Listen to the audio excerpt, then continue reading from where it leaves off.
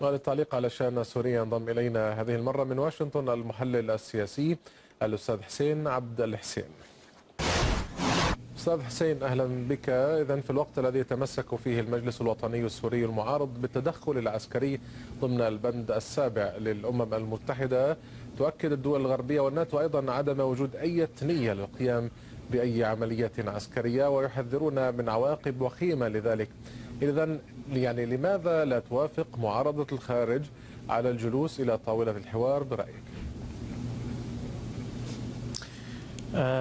مساء الخير أنا لا أعتقد أن المعارضة السورية لا توافق على الحوار هي أعلنت مرارا موافقتها على خطة السيد كوفي أنان وبمجرد الموافقة على هذه الخطة يعني ضمنا أنها توافق على الحوار.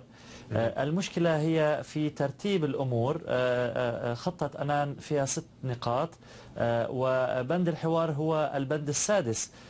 تعتقد المعارضة السورية أن الحكومة السورية أو نظام الرئيس بشار الأسد لم تتجاوب مع أي من النقاط التي يتصدرها سحب الجيش من المدن والإفراج عن المعتقلين والسماح لوسائل الإعلام غير السورية بالدخول إلى سوريا قبل الذهاب إلى طاولة الحوار. تعتقد المعارضة أن الحكومة السورية لم تنفذ أي من هذه البنود وهي تحاول الذهاب إلى الحوار فورا. في المقابل يعني ماذا لدى معارضة الخارج غير التدخل العسكري؟ يعني ما هو المشروع الذي تحمله المعارضة لسوريا؟ لا سيما وأن التدخل وفق البند السابع سيدخل البلد في حرب أهلية وفق ما يؤكده محللون كثر. نعم أنا برأيي أن البلد أصلا في حالة حرب أهلية حاليا ولا أرى أن أي من الطرفين قادر على حسم هذا الصراع. ومن الضروري يعني إجبار الفرق المتقاتلة عبر تدخل خارجي أو عبر أي نوع تدخل آخر سياسي أو عسكري على التحرك في اتجاه ما باعتقادي إن استمرت الأمور على هذا الشكل.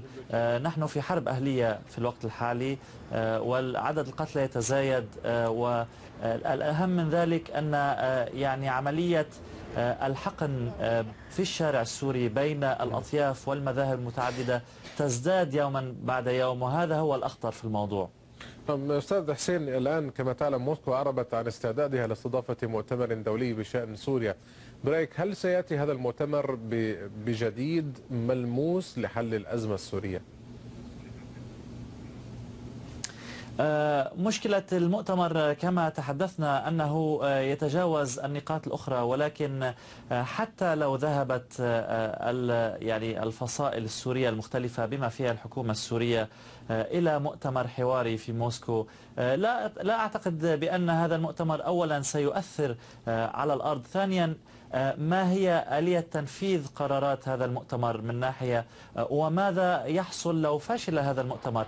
لو دخل الأطراف السوريين المختلفون إلى طاولة الحوار في موسكو ولم يتوصلوا إلى اتفاق. مثلا لو طالبت المعارضة بخروج الرئيس بشار الأسد من السلطة كشرط أساسي لإكمال المفاوضات. ماذا يحصل بعد ذلك؟ يعني ما أحاول القول هنا هو أن حتى هذه المفاوضات ليست مضمونة على الرغم من أن البعض يعتقد أنه بمجرد الذهاب إلى المفاوضات يعني أن الأمور في طريقها إلى التسوية داخل سوريا. نعم أخيرا برأيك ما هو المخرج الذي من شأنه أن يحقن دماء الشعب السوري بعد أزمة دخلت عامها الثاني وتزداد تعقيدا يوما بعد الآخر؟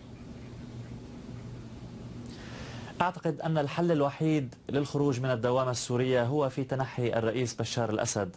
على الأقل هذا يضمن أن أكثر من ثلثين السوريين أو المعارضين السوريين حاليا سوف يقبلون ربما بالذهاب إلى حوار. يعني بعد خروج الرئيس الأسد يصبح الحوار يعني أسهل.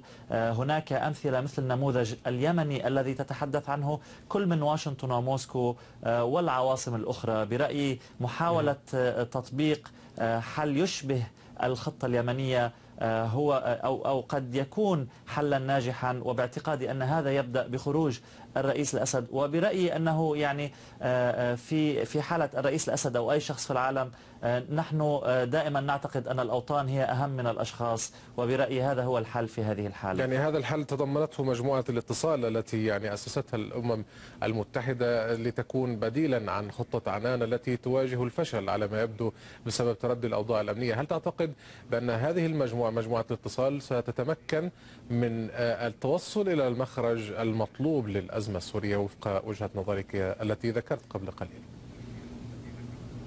أنا أوافق تماما على السيناريو الذي تقدمه مجموعة الاتصال أو خطة مجموعة الاتصال. المشكلة هي في الشكل أو المشكلة هي في آلية تنفيذ هذه المجموعة. طبعا الولايات المتحدة يبدو أنها لن توافق الجلوس إلى طاولة تجلس إليها إيران بصفتها لاعبة كذلك في الشأن السوري. مشكلة خطة مجموعة الاتصال أنه لا يمكن البدء بالتنفيذ أو لا يمكن البدء بالحديث عنها لأن الأطراف التي ستشارك بها متعارضة لأسباب تختلف أو لأسباب بعيدة عن الموضوع السوري بالدرجة الأولى. ولكن أعتقد أن مضمون هذه الخطة لو تم تنفيذه سوف يشكل مخرجا. ونحن طبعا كما ذكرنا أساس هذه الخطة هو خروج الرئيس الأسد من الحكم. إذا المحلل السياسي حسين عبد الحسين كنت معنا من واشنطن. شكرا جزيلا لك.